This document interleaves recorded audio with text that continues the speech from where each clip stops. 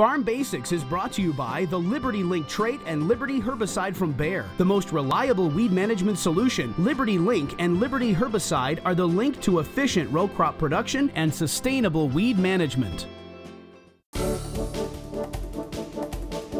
During our Farm Basics time today, we're going to discuss soybean flowering. So if you're a non-farmer, probably wondering, well, what's the difference? Don't all plants flower? Well, they do, or at least a lot of them do, but they flower depending on different things. And with soybeans, it's a little bit unique. Well, soybeans in our part of the country flower based on the shortening of day length. So when you think about it, the days get longer up until June 21st, and then the days start getting shorter, just by a few minutes each day. Now, for my kids, they don't really seem to notice that. You know, it seems like, oh man, the days are long, and they're really long until summer's just about over for the kids. But for soybean plants, they pick up on that, that it's just a few minutes less sunlight each day, and wow, I better start kicking it in gear because before we know it, frost is going to come and we have to make soybeans first. So as farmers, we discuss this as the reproductive stages of soybeans. The reproductive stages start when that soybean plant starts flowering. So we always say, at least in our part of the country with the indeterminate soybeans that we raise, that when the day length begins to shorten, that's when reproduction is going to kick in. So you won't see it exactly on June 22nd or anything, but just a few days after that, you're going to see soybeans start to flowering and all those reproductive stages start to kick in. Well, and it's really interesting on a year like this year. We had a really tough time getting soybeans in on our farm. We had a lot of rain come right at the end of corn planting, and frankly, corn planting was pretty late for us too because of all the snow that we had